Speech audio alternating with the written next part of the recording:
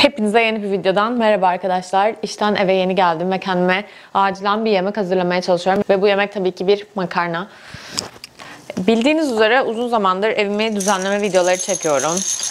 Bu videolardan daha önce işte farkındalıkla ilgili, sigarayı bırakmakla ilgili değişik videolarım olmuştu ve her birinde aslında hayatıma bir düzen katma ya da yaşantımı daha keyifli hale getirmek adına hep bir şeyler yapıyordum. Şimdi evimi düzenleme kısmında yavaş yavaş belli bir noktalara geldiğimi hissediyorum ama fark ediyorum ki daha önemli bir şeyi gözden kaçırıyorum.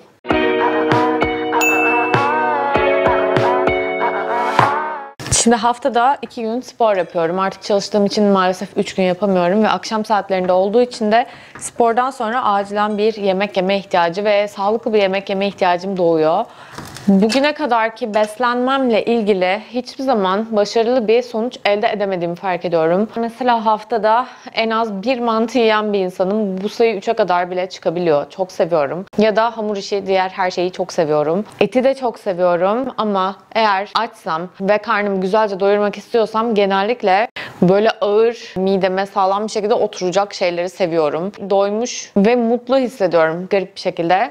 Bazı yemekler gerçekten beni mutlu hissettirmiyor. Son zamanlarda bu durumdan çok hoşnut değilim. Çünkü bildiğiniz üzere her şey çok pahalanmaya başladı ve ben de yalnız yaşayan bir insan olarak yemeğimi sürekli dışarıdan söylüyorum. Bu durum beni gerçekten rahatsız etmeye başladı. Çünkü kendi başıma evde yemek yapmak istiyorum. Bunun için tabii ki belli bir kabiliyet seviyesinde de olmak gerekiyor. Yani bugüne kadar yemek yapma konusunda gerçekten kendimi hiç geliştirmedim. Bunun için herhangi bir kursa gitmek istemiyorum. Çünkü herhangi evde bir yemek yaptığımda lezzeti böyle çok kötü ve yenilemez bir durumda hiçbir zaman olmadı. Ama şu konuda hep sıkıntı çekiyorum. Buzdolabımda sürekli o an istediğim yemeği yapacak bir malzemenin düzenli olarak bulunması ve bunların belli bir süre sonra bozulmamış olması.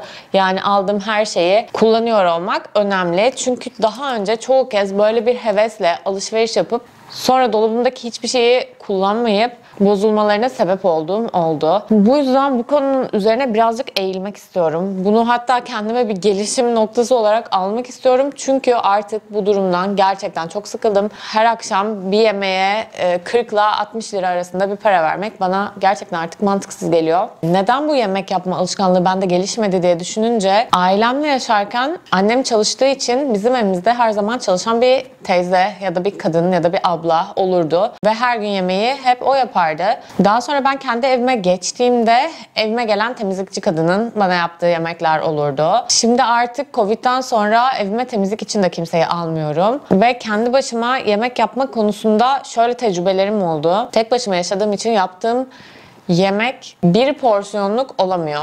Yani yaptığım bir şeyi birkaç günde tüketmem gerekiyor. Bundan keyif almadığımı biliyorum. Ve sevdiğim şeyleri yemek istediğimi biliyorum. Mesela sağlıklı bir şey varsa orada ben yine gidip pizza falan yiyebilirim yani o sağlık şey yemek yerine. O yüzden bu konudaki bu savrukluğumdan kurtulmak istiyorum. Böyle yaşla kilo almaya daha yatkın olunduğu için de bu beni endişelendiriyor. Hali hazırda spor da yapıyorken bunun boşa gitmesini açıkçası istemiyorum. Bu yüzden ilerleyen dönemlerde bu konuyu ele almayı düşünüyorum. Ve sizlerden rica ediyorum bana lütfen bazı tavsiyelerde bulunun. Mesela şöyle bir şey görmüştüm. Refika'nın Mutfağı YouTube kanalında işte haftalık öğünlerin kolay hazırlanabilecek şekillerini mesela pazar gününden dolaba yerleştirip kolay bir şekilde o haftaki o yemekleri yapabilmeyi sağlayan tüyolar veriyordu. Ama böyle yemesi keyifli şeyler olmasını istiyorum. Böyle inanılmaz diyet kafasında da değil ama normal evde sulu yemek de olabilir. Arada bir kaçamaklar olabilir. Hamburger vesaire gibi. Ben evimde düzenli olarak yemek yapmaya geçmek istiyorum. Bunun için tavsiyeleriniz nedir? Lütfen yorumlarda paylaşın.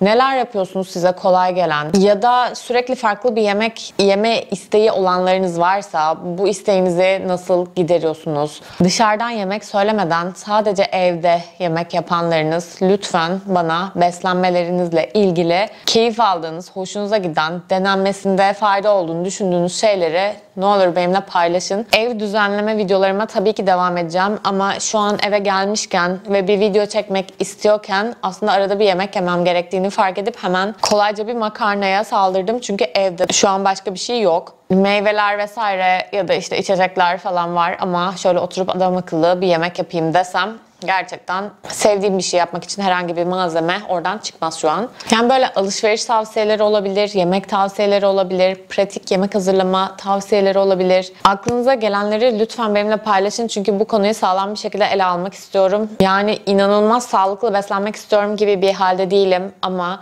evimde kendi yemeğimi yapıp yemek istiyorum noktasındayım. Benimle tavsiyelerinizi paylaşmanızı bekliyorum. Bu konuyla ilgili daha sonraki gelişimimi sizin yorumlarınızdan aldığım fikirlerle ayrı bir video olarak paylaşabilirim. Ama kaldığımız yerden sadeleşmeye de devam edeceğiz. İzlediğiniz için teşekkür ederim. Gerçekten bir derdim olan bu beslenme konusunda bana yardımcı olursanız çok sevinirim. Dışarıdan hazır yemek söylemek artık istemiyorum. Dışarıdan sulu yemek de söylemek istemiyorum. Tamamen bu ihtiyacımı kendim gidermek istiyorum. Bir yemek kursuna git gibi bir öneride de lütfen bulunmayın. Çünkü bunun için hiç vaktim yok. Kendi uyguladığınız ve severek yaptığınız şeyleri benimle paylaşırsanız çok sevinirim. Bir sonraki videoda görüşmek üzere.